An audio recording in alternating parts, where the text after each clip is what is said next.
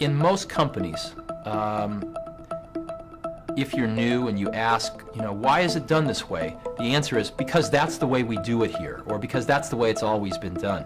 Where there is a theory behind why we do them, there is a description of what we do, and most importantly, there is an opportunity to always question what we do.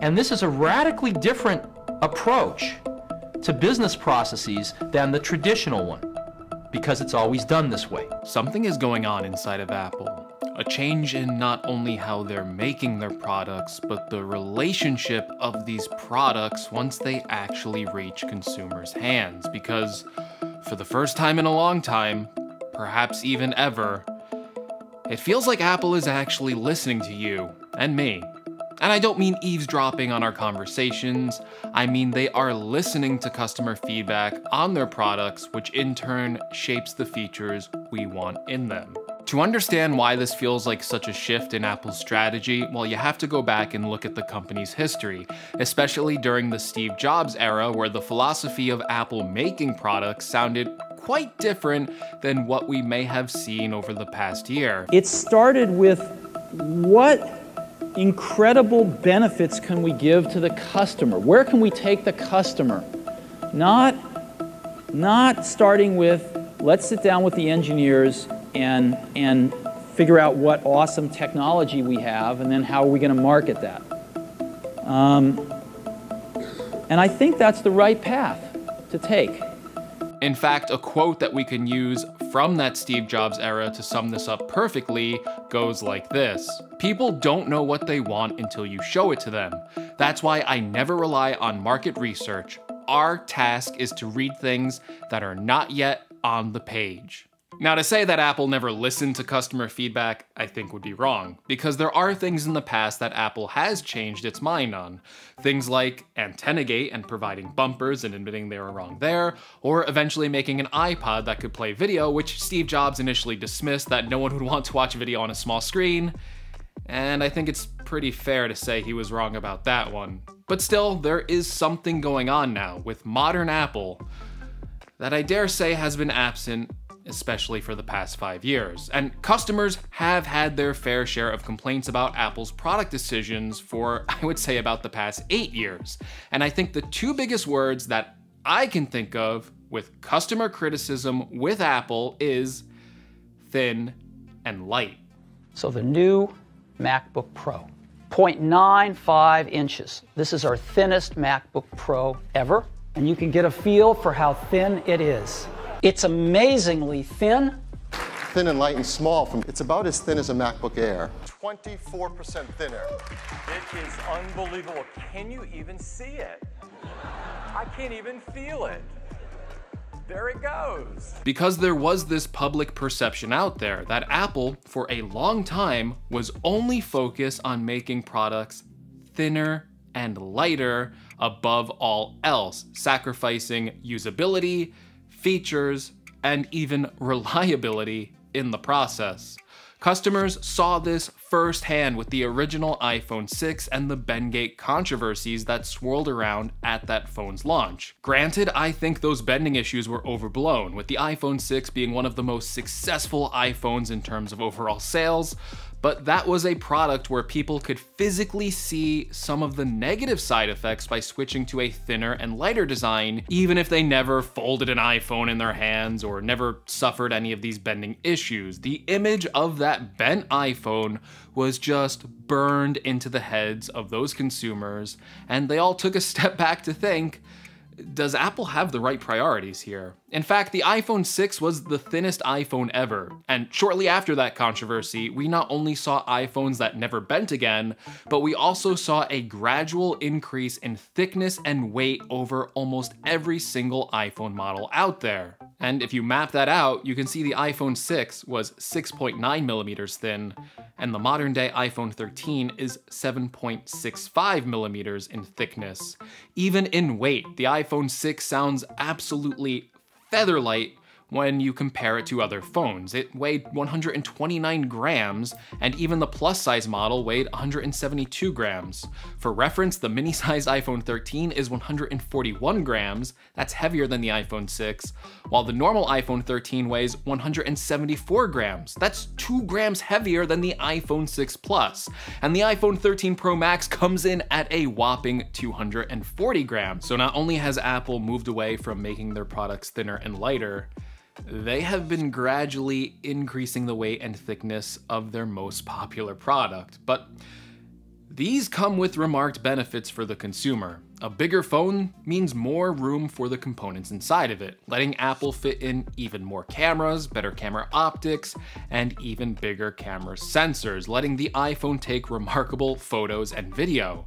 It also means room for bigger batteries, one of the biggest drawbacks with a thin and light design, and one of the easiest consumer facing features to preach the benefits of. Everyone wants longer battery life out of their devices, and everyone benefits with longer battery life out of their devices, not only from making sure that your phone lasts the entire day once you take it off the charger, but also for overall general battery health as well to ensure that you can keep your phone even longer. And we saw criticism pretty recently when Apple made the iPhone 12 thinner than the previous iPhone 11. And that design actually shrunk the batteries inside of them. And we saw immediate praise when the iPhone 13 did a quick reversal and became thicker to accommodate the bigger battery, with many smartphone reviewers proclaiming it's the best battery life ever on an iPhone, and quite frankly, most other smartphones for that matter. Even Apple touted on stage the increase in battery life that they crammed into these new phones. It was a flagship feature. And this line of change goes beyond the iPhone. Perhaps we even saw our first glimpse of this with Apple's approach to redesigning the 2013 trash can Mac Pro. Now, the Mac Pro back then was another device that was made impossibly small when you compared it against their older Desktop Pro machine. This machine was so loudly proclaimed as an innovation that Apple's Phil Schiller said the quotable, Can't innovate anymore, my ass. But the 2013 Mac Pro was kind of left untouched, and unaltered for years, with many Pro customers wondering if Apple was abandoning the Pro market altogether. I, I, don't know if you remember that. There was a lot of talk back then that if Apple even cared about the Mac or if they were just going to focus on selling iPads and iPhones. Like, there was a lot of people thinking that Apple was just going to give up on the Mac and just let it die. But eventually, Apple called in a bunch of journalists to their headquarters to explain what had went wrong with the Mac Pro. And I think that's one of the few times that they've admitted publicly that they made a mistake with their product, with one of Apple's executives saying, I think we designed ourselves into a bit of a thermal corner, if you will. It's probably one of the biggest admissions we have from Apple today that the design philosophy they were focused on, on making things thinner and lighter above all else, was a mistake. They even designed the 2019 Mac Pro based on the feedback and complaints that customers had with the 2013 Mac Pro, and hiring a pro workflows team so they could better understand the needs of their pro customers. So much so, in fact, that the 2019 Mac Pro was a complete departure from the unexpandable 2013 Mac Pro, and Apple made a desktop tower that was easy to lift the lid off of and upgrade. And that again isn't the only instance we can point to. Look at the Butterfly keyboard in 2015, a keyboard designed to be thinner to make the 12 inch MacBook as thin as possible.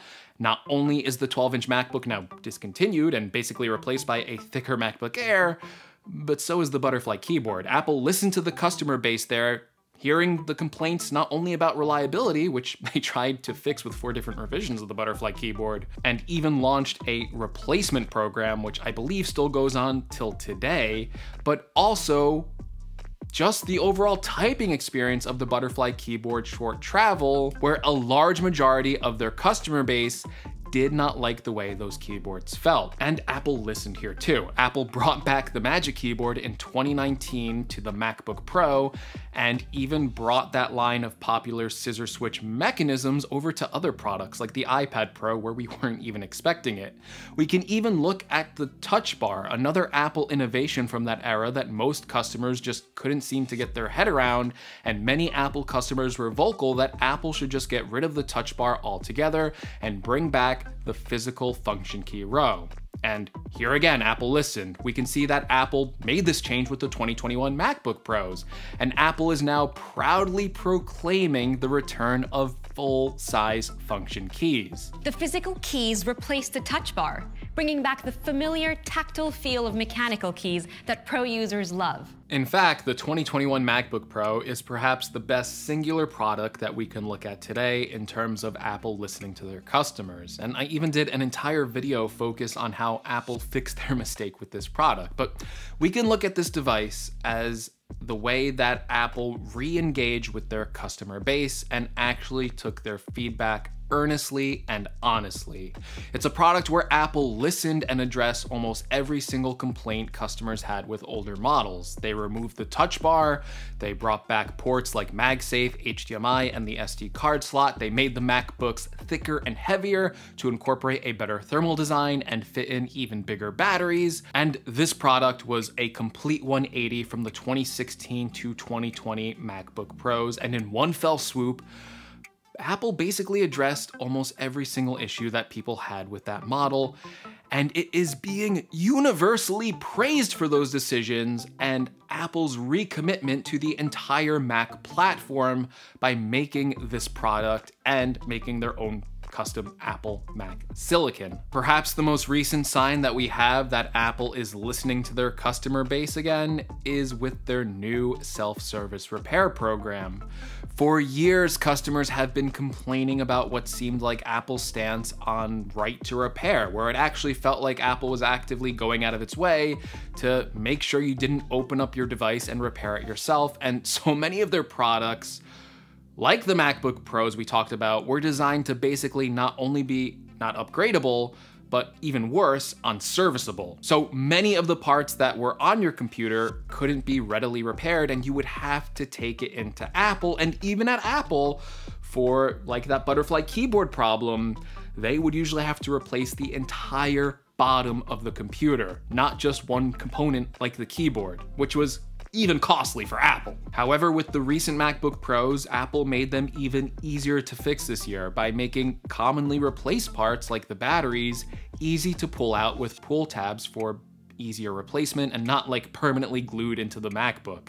And this new self-service repair program is promising to provide customers with access to Apple genuine parts, tools, and schematics for Apple's recently designed products like the iPhone 12 and iPhone 13, and of course the new M1 Max. The program is starting off small, but it is promising to give users parts to commonly replaced items like the display, the battery, and the camera, and Apple is even promising to bring additional repair parts as this program continues. And people were really taken aback by this announcement from Apple. It was one of the last things I was ever expecting them to do. In fact, I feel like most of the examples I provided in this video might have seemed a little unthinkable a few years back. Apple not only listening to customers, but reversing decisions it had previously made on its products. Now, does this mean an end to thin and light products from Apple? No, I don't think so. We still have products out from Apple, like the recent M1 iMac that is thinner and lighter than ever before. But in a product like that, it makes sense, and the decisions they made around that product were built around the M1 chip, so there weren't a bunch of trade-offs. And there's rumors that they are continuing to chase thin and light designs with follow-ups to other products, perhaps like a revised version of a thinner and lighter MacBook Air. But I think Apple has taken their mistakes to heart and has learned that these products need the technology in them to achieve this goal, and that sacrificing things like performance, battery life, or build quality to chase these designs above all else might not be the right goal for its entire customer base. Still, as much as I love Apple's recent products and I really feel like they have addressed a lot of the complaints from the past eight years, I do also agree that you can't make a product based on customer feedback alone. To create a new product, one that is truly revolutionary and innovative, you need to give the customer something they didn't know they needed. Something that the customer didn't want until you showed it to them.